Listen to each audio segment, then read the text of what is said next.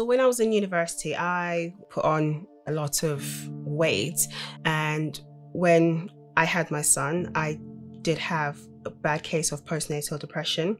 So again, food was my comfort. And yeah, I had a couple of people saying congratulations, when am I due? Because people thought I was pregnant. And that's when I said, okay, I knew I was big, but I didn't realize I was that big. And that's when I came across Slimming World.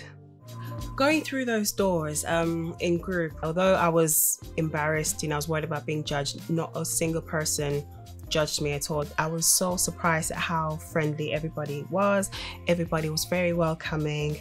To actually learn that Slimming World isn't a diet, it is a lifestyle. If I treat it like a lifestyle, then I will be able to achieve what I want to achieve. As soon as she got on the scales, I could see that she was determined to get where she wanted to get. She knew exactly what she wanted and she was going to go for it. But also seeing her, her kind of commitment to the group as well. Um, and so there's lots of people stay here every week.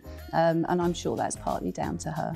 I enjoy cooking as well. Food still tasted you know, better than before. So to be still be able to enjoy those foods and still lose weight was definitely a big bonus. I wanted to include that exercise as well. I wanted to be active. And for me, I walking is the one I enjoyed the most because my son sometimes, you know, we'd go for walks together, or sometimes when I am doing my walking exercise here in the house, he would participate in that as well. I received my five stone award is when I decided to start sharing on my social media platforms.